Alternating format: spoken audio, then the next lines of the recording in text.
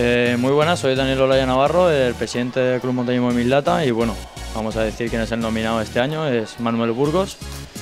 Eh, la verdad que bastante merecido porque es un chaval que, que a pesar de tener poco tiempo con los estudios siempre está ayudando, siempre intentando hacer las salidas del club.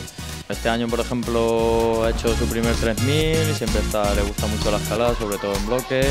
Y ya te digo, a pesar de sus estudios, pues siempre busca un hueco para hacer deporte.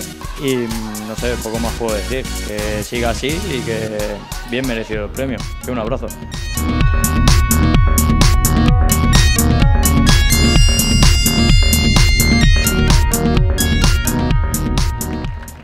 Un abrazo, claro que sí, y un aplauso para Manuel Burgos Martínez del Club de Montañismo.